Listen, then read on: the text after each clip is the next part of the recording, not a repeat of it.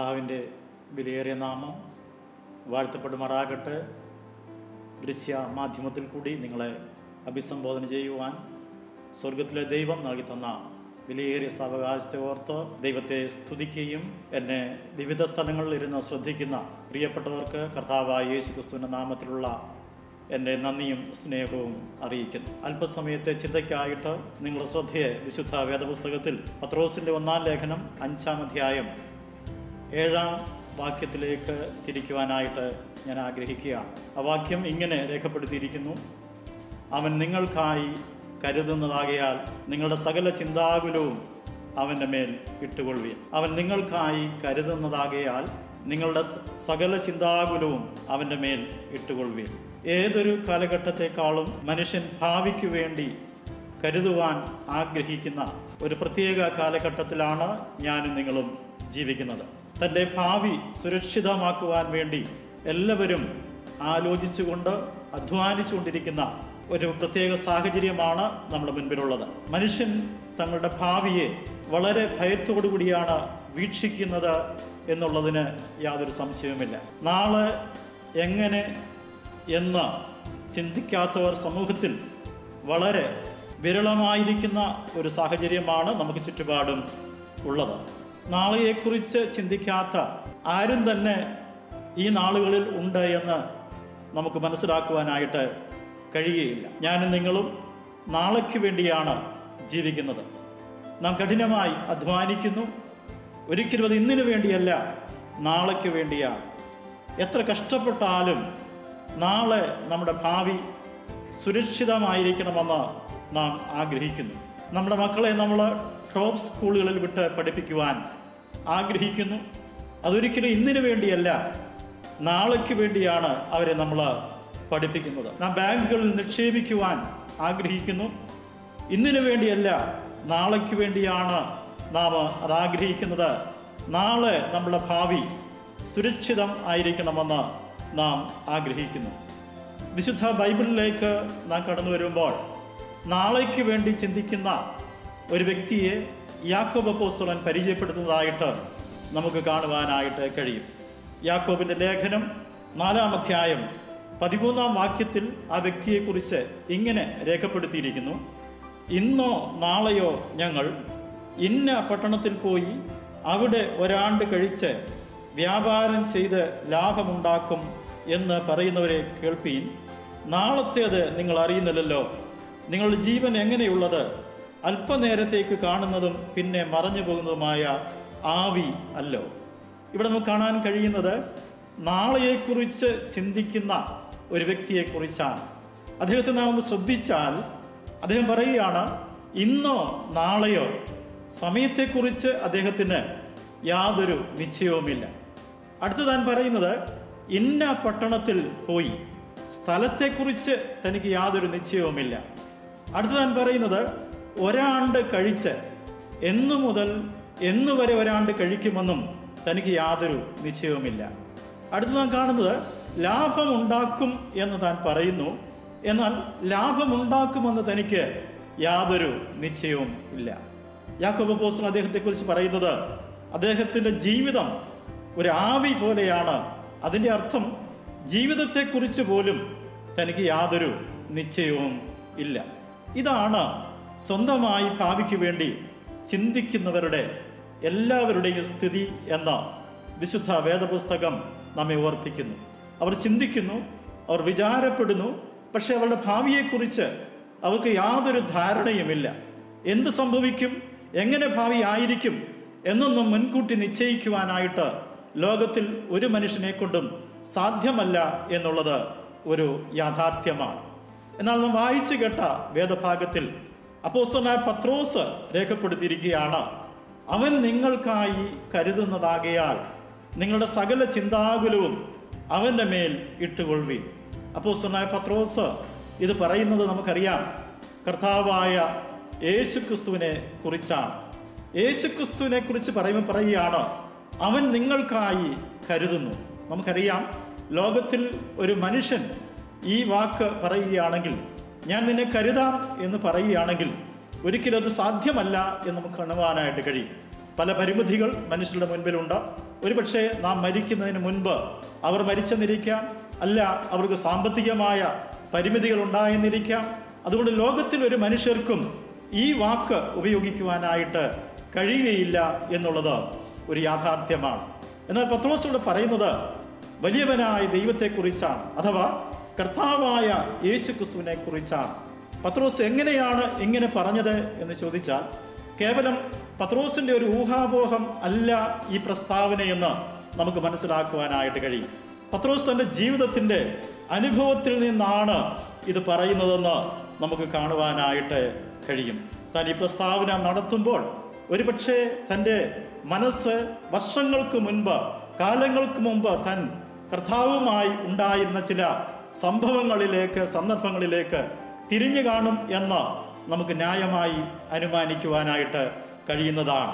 നമുക്കറിയാം ഒരു ഒരു സന്ധ്യാസമയം പത്രോസും തോമാസും നഥനയേലും സബതി മക്കളും മറ്റ് രണ്ട് ശിഷ്യന്മാരും ഒരുമിച്ച് ഒരു മുറിയിൽ കൂടിയിരിക്കുന്നു. അവർ സ്നേഹിച്ച അവരെ സ്നേഹിച്ച കഴിഞ്ഞ കാലങ്ങളിൽ അവരെ കരുതിയ അവർക്ക് ആഹാരം നൽകിയ എന്തിനധികം പറയുന്നു പത്രോസ് ഒരിക്കൽ നീ ദൈവത്തിന്റെ പുത്രൻ എന്ന് ഏറ്റുപറഞ്ഞ ആ കർത്താവ് ക്രൂശിക്കപ്പെട്ട് കഴിഞ്ഞു. അധിക ദിവസം ആയിട്ടില്ല. പത്രോസിന്റെ ചിന്തകൾ പതറി.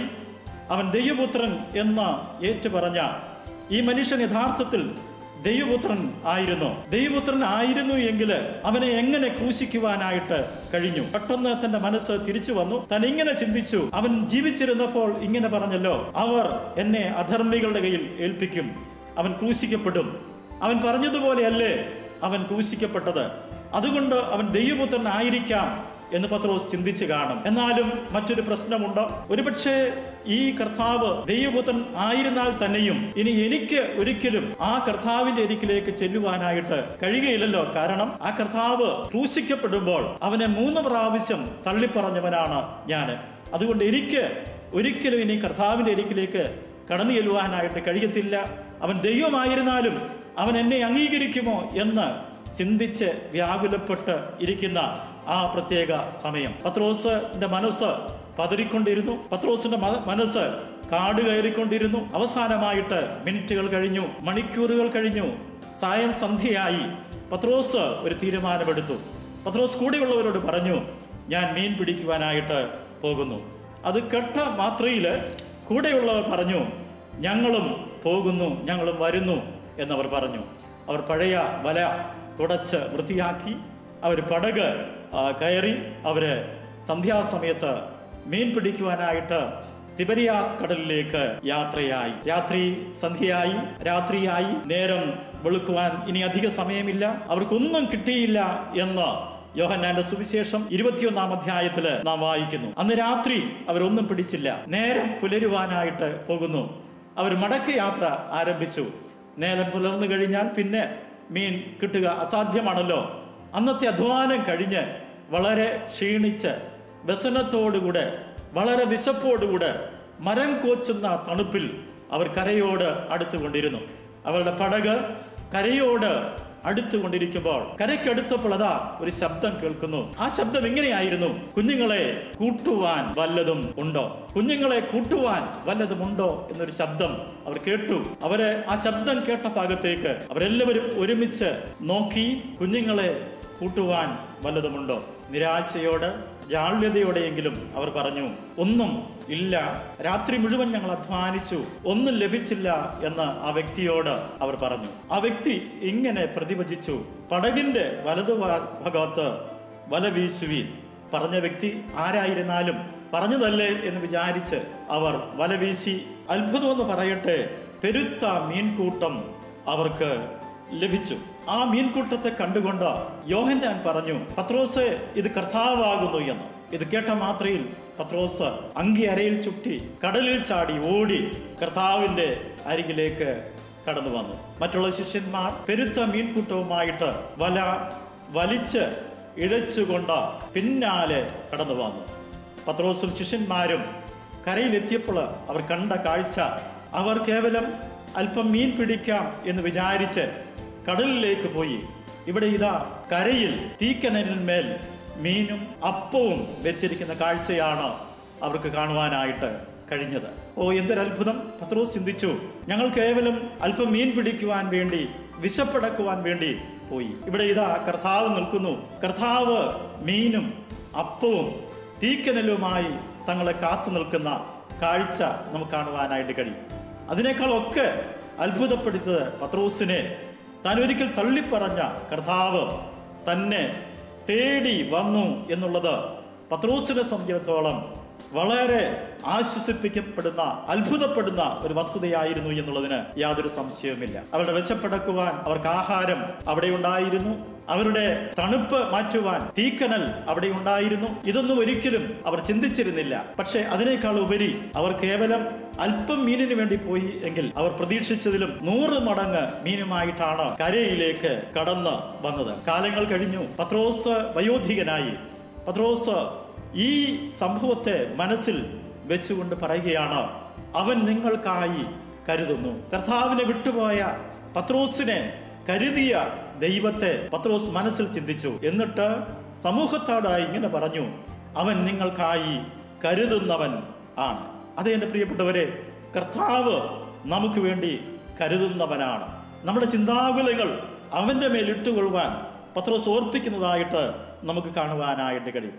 സങ്കീർത്തനക്കാരൻ ഇങ്ങനെ പറയുന്നു നിന്റെ ഭാരം യഹോവയുടെ മേൽ ഇട്ടുകൊള്ളുക അവൻ നിന്നെ പുലർത്തും. പ്രിയ സ്നേഹിത നിന്റെ ഭാരം എന്തുമായിക്കൊള്ളട്ടെ? നിന്റെ ചിന്താകുലം എന്തുമായിക്കൊള്ളട്ടെ? ഒരുപക്ഷെ ജോലിയില്ല എന്നുള്ളതായിരിക്കാം. അതല്ല സാമ്പത്തിക ബുദ്ധിമുട്ടായിരിക്കാം. അല്ലെങ്കിൽ കുടുംബജീവിതത്തിലെ പ്രതിസന്ധികളായിരിക്കാം. അതല്ലെങ്കിൽ മാതാപിതാക്കളിൽ നിന്നുള്ള പ്രതിസന്ധികളായിരിക്കാം. മക്കളിൽ നിന്നുള്ള പ്രതിസന്ധികളായിരിക്കാം എന്തുമായിക്കൊള്ളട്ടെ ഇവിടെ ഇതാ എല്ലാത്തിനും കഴിവുള്ള എല്ലാവരെയും സ്നേഹിക്കുന്ന എല്ലാവരെയും കരുതുവാൻ കഴിവുള്ള കർത്താവ് പറയുന്നു നീ എന്റെ അരിക്കിലേക്ക് വരിക.